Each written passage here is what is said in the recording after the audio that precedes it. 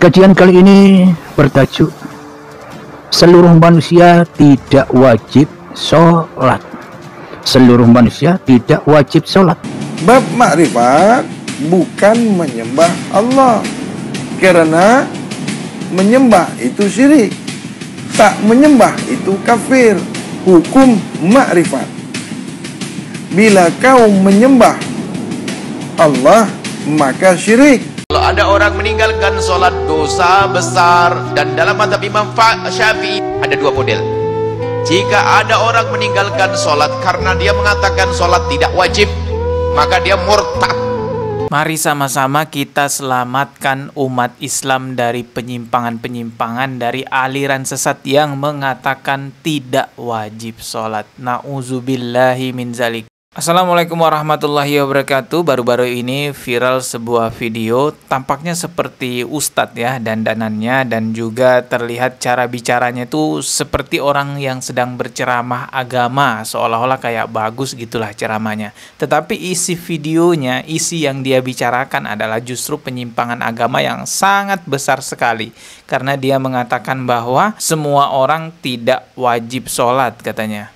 Kajian kali ini bertajuk seluruh manusia tidak wajib sholat seluruh manusia tidak wajib sholat. Di Indonesia cukup sering ya bermunculan aliran-aliran sesat yang menganggap bahwa umat Islam tidak wajib sholat. Semenjak saya madrasah aliyah dulu di lingkungan pondok pesantren, saya itu sudah mendengarkan selentingan-selentingan adanya aliran yang tidak mewajibkan sholat bagi pengikut-pengikutnya. Jadi memang semenjak saya masih pelajar, saya sudah mendengarkan adanya aliran-aliran yang menganggap bahwa sholat itu tidak wajib bagi umat Islam. Artinya ya memang hal-hal semacam ini di Indonesia banyak teman-teman, aliran-aliran semacam ini. Beberapa tahun yang lalu itu sekitar dua tahun atau tiga tahun yang lalu ya, di tahun 2002 juga pernah viral. Gurunya Zamroni itu sempat juga diisukan pernah menyebarkan ajaran-ajaran sesat yang dianggap tidak wajib sholat teman-teman. Ya orang ini kita kenal dengan sebutan Hadi Wayang Kusumo ataupun Hadi Minallah kalau kita lihat dari sosial medianya. Gurunya Zamroni ini mengeluarkan pernyataan seperti ini. Ini videonya udah viral banget. Kalau di bab, di bab makrifat sholat itu sholat itu bermakna mengingat Allah. Sembahyang itulah mengingat. Bukan buat sembahyang bukan berdiri sembahyang. Bab makrifat bukan menyembah Allah. Karena menyembah itu syirik. Tak menyembah itu kafir. Hukum makrifat. Bila kau menyembah Allah maka syirik. Bila kau tak menyembah Allah maka hukumnya kafir. Allah tidak berasma. Ini kedudukan makrifat bab makrifat itu pernyataan gurunya Zamroni, ya teman-teman tahu lah Zamroni sempat bareng juga sama orang itu kan. Jelas sekali dia mengatakan katanya dia berdalih bab makrifat. Kalau menyembah Allah dalam bab makrifat itu katanya syirik. Astagfirullahalazim. Jadi menurut dia dalam bab makrifat itu sholat hanya sekedar mengingat saja kepada Allah, bukan berdiri menyembah kepada Allah karena itu dianggap syirik katanya. Jelas itu berdasarkan dalih pemikiran dia sendiri saja karena di dalam ajaran agama Islam tuh nggak ada seperti itu. Teman-teman bisa cari di Al-Quran maupun hadis, tidak akan menemukan adanya dalil menyembah Allah dianggap syirik. Tapi biasanya orang-orang seperti ini selalu saja membela diri dengan mengatakan, oh ini bab ma'rifat, bukan bab syariat. Teman-teman, ketahuilah Rasulullah Shallallahu Alaihi Wasallam sampai wafat membawa syariat agama Islam. Ma'rifatullah itu maknanya mengenal Allah. Yang paling mengenal Allah di antara kita ya tentunya Rasulullah Shallallahu Alaihi Wasallam. Rasulullah orang yang paling mengenal Allah itu tidak pernah meninggalkan syariat, tidak pernah mengatakan jika engkau sudah mengenal Allah tinggalkan sholat. Nggak pernah seperti itu. Namun sangat disayangkan sekali orang-orang awam ada saja yang terpengaruh teman-teman karena embel-embel ma'rifatullahnya itu. Ajaran gurunya Zamron ini sempat disebarkan juga juga di Malaysia tapi tidak butuh waktu lama penegak hukum di Malaysia, ulama-ulama Malaysia menyetop ajaran tersebut. Ya, saya salut dengan ketegasannya di Malaysia. Ajaran ini tidak ada di Malaysia. Allah di dunia ini ya, wujudnya adalah seorang manusia laki-laki. Karena di sini nggak nggak ngajarkan aneh-aneh. Kalau hanya bilang kontol puki itu bukan kotor. Makanya kami jadikan mainan ya. Saya goblok-goblokan, bodoh, tolol, dan dari fatwakan sesat di Malaysia. Ajaran sesat hadi minallah. Jawatan Kemajuan Islam Malaysia JAKIM telah mengenal pasti lokasi pusat penyebaran ajaran sesat hadi minallah. Tetapi baru-baru ini mereka datang kembali, bahkan lebih ekstrim lagi sehingga pengikutnya mengeluarkan kata-kata yang menghina Allah. Kamu sholat nyembah siapa? Apa yang kau ingat? Allah, Allah, Allah, Allah, Allah, Nabi Muhammad bukan Rasulullah terakhir. Di Indonesia sendiri gurunya Zamroni ini sempat juga diinterogasi dengan MUI, tapi entah bagaimana dan apa yang terjadi dengan MUI, tiba-tiba ya ya begitulah sampai sekarang ya masih aman-aman aja. Maka ya berhati-hatilah ya karena memang dari dulu sudah bermunculan memang ada orang-orang yang berpemikiran bahwa umat Islam tidak wajib sholat. Nah seperti ini contohnya nih kan muncul lagi orang baru ini. Saya nggak ngerti sih ini orang siapa, namanya siapa, dan saya juga tidak menemukan jejak digitalnya teman-teman ya. Beda dengan Zamroni dan gurunya Zamroni yang ada banyak jejak digitalnya. Coba kita simak dulu nih uh, ajaran ngawurnya orang ini ya. Coba kita simak ya. Selama ini kan seolah-olah kita yang merasa wajib untuk sholat.